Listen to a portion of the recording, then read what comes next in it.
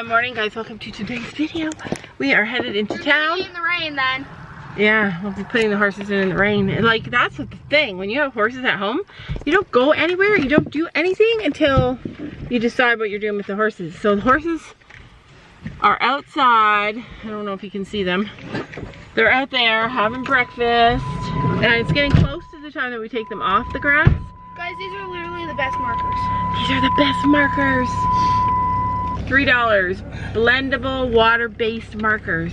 I'm gonna order us some really fun markers for homeschool this year. I, I, I saw these at the dollar store and I'm like, these look like really good markers. Sophie buys anything at the dollar store. It's The her dollar favorite store store. has the best stuff. Okay, so essentially, You can't blame me, that's my favorite store. we have to decide before we leave the house, will we be back in time to put them in in at the right time? But then we also have to think about like if it rains, what will happen? So when it rains, shelter, right? wait, They big have a huge shelter. Yeah, they have a shelter and they did use it once because they got caught in the rain one time. But our horses are so spoiled. Like, they don't like being left out in the rain. so we don't leave them out in the rain.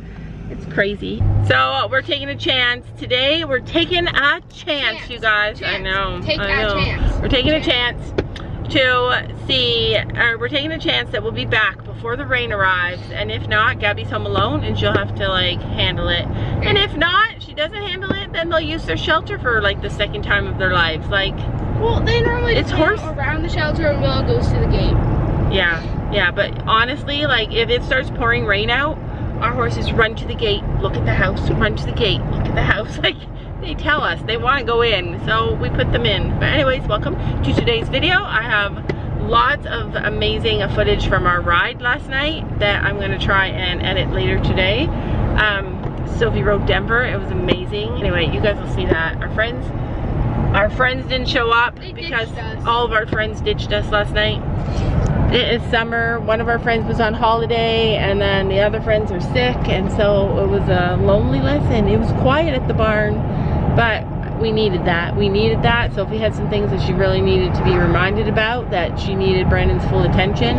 And Gabby is really working at boat riding Lily and it was just relaxing and fun and anyway, we are headed into town to do some shopping. But before we go, before we go, I want to tell you guys something that's been heavy on my heart.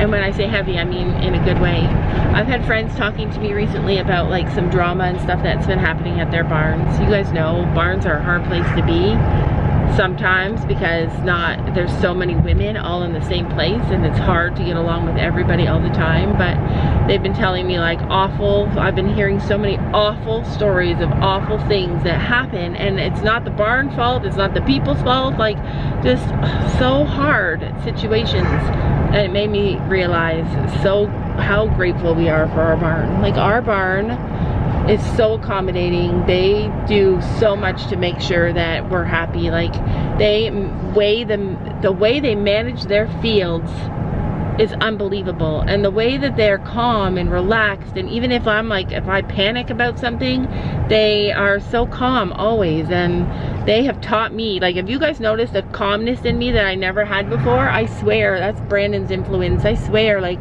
our barn is so I'm so grateful for them I'm so grateful for them and I think it needs to be said I needed to say it like the attitude and the mindset at that barn is phenomenal and I'm just so grateful for what I'm learning there. So ow. So ow. Just got whacked in the face with the oh because the seatbelt's on. Silly Sophie. So we are back from shopping. We stopped at a couple of stores and we found some fun things for our horses well not fun things for our horses. One fun thing. We got an extra ball a big one. You guys know what penny is a ball lover. And i don't know if we're gonna leave it at this barn and keep it for penny or if sophie's gonna take it and use it for chance. We got some more horse show chairs. We got two of them and one of them is so super cool. And i got a new muck bucket but i think sam put it in the barn already. I love muck buckets. Like muck buckets have so many uses. It's a different color than we usually use, but I still like it. Anyways, my glasses are destroyed now. I feel like the nose thing is pushed out of place, so I gotta go fix that. I'll be right back. I'll be right back because I want to show you something else. So what I wanted to show you is a surprise. It's in this package. It's something that a company made specifically for Sophia. I'm so super excited to show you guys because it's personalized and I know that a lot of you guys love personalized stuff for your horses. So I'm gonna share it tomorrow. We're gonna show you guys tomorrow. It's so beautiful and amazing. I love how it's personalized. I love it. Like, anyway, I'll show you guys tomorrow in tomorrow's vlog, so stay tuned for that. It is literally dark as heck. Dark as heck today. We've been so lucky this summer. It hasn't it hasn't been so super hot. Yeah, do you like it? We got this. It's bigger than the one I have and way more heavy duty. I love it and it's blue. So our color for our barn is red and blue and we got a blue one. It's the only one they had there. It was on sale for $6.99. So we got it, and now it's a Gabby. vibrating in this thing. Wow. Yeah, when you put That's it weird. Hair, all, you hear, all you hear is a slight vibration. Wow. Gabby's a turtle.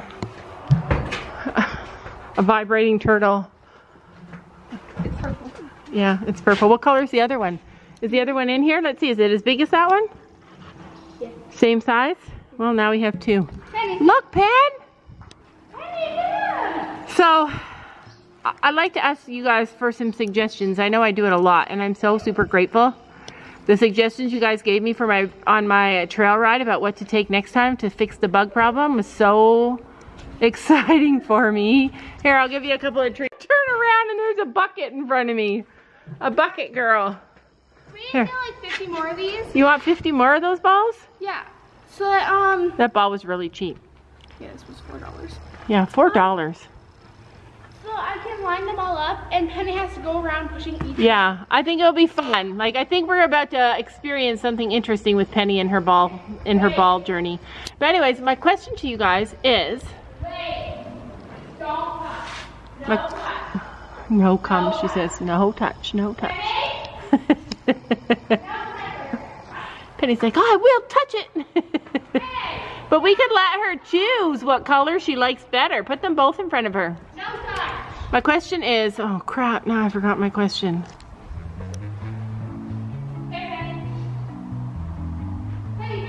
What was my question?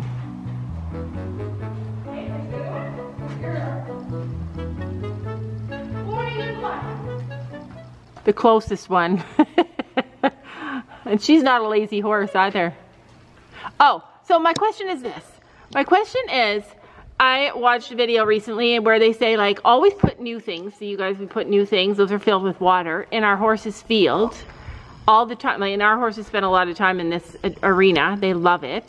And um, what would you like? What are some things that you guys would put in here? I know we can fill a bottle with rocks and hang it up, and I might do that.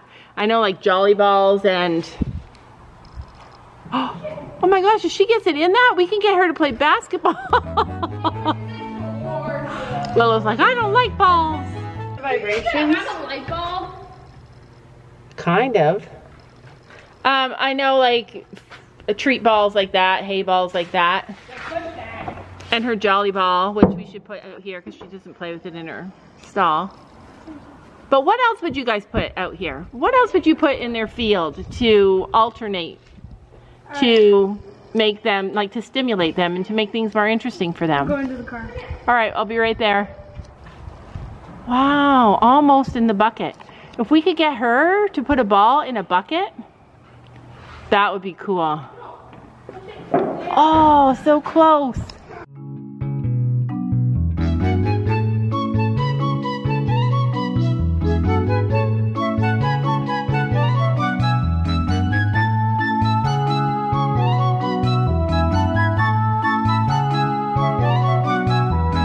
She loves that trick.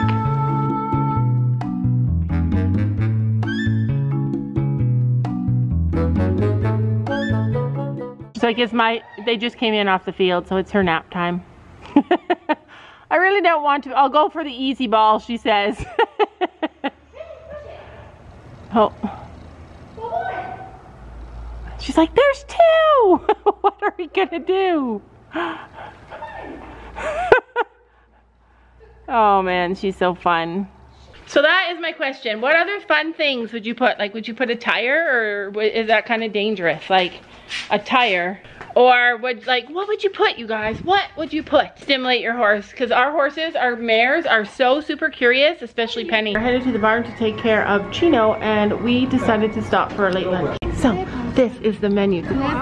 They do have pasta. Sophie is a pasta girl. Gabby is a chicken nugget girl. Sam is a steak boy. Uh, I'm gonna get a salad. Really shiny. That is really shiny. So they have a garlic dill chicken sandwich. They have chicken and waffles. That looks so good, but so fatty. All right, Honey is spice level two. Gabby is a connoisseur of hot spice. So, hey, did I get a water? Yep, this is mine. So we all ordered, Are we all are ready. Are you ready? No. Really. Oh, Sophie and I know what we want. So I got a salad and it looks like this. Like that is a, whoa, that is a salad. Salad? That's a salad. Uh, Gabby got wings and french fries. Sophie got uh, poutine, which not everybody knows about. Not every country, it's a Canadian thing, I think. It's gravy and cheese curd and french fries. These And- french fries are. Oh, Gabby's are spicy. Um, and Sam got St. Louis poutine. a St. Louis poutine. Just has chicken. This is chicken. This is so, this was so good, you guys. So good. Whoops. So, so hard to hold. Sophie tried the um, the crust, the bowl. Did you like it, or it just tastes plain? Holy cow, you guys! When we were eating, somebody got hit by a bike.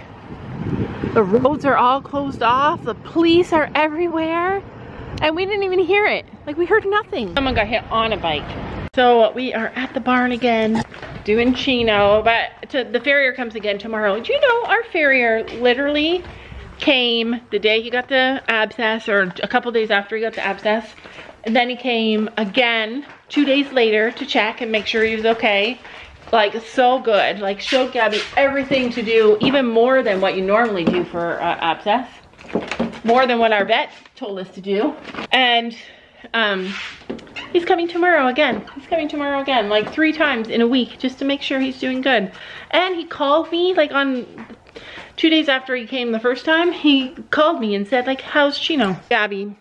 Gabby the crazy cat girl. Can you watch my horse? Yeah, I'll watch him. Are you going to the bathroom? All right, when you come back, I gotta go. I have to pee. I do not know why she's taking the cat to the bathroom. oh, she's not.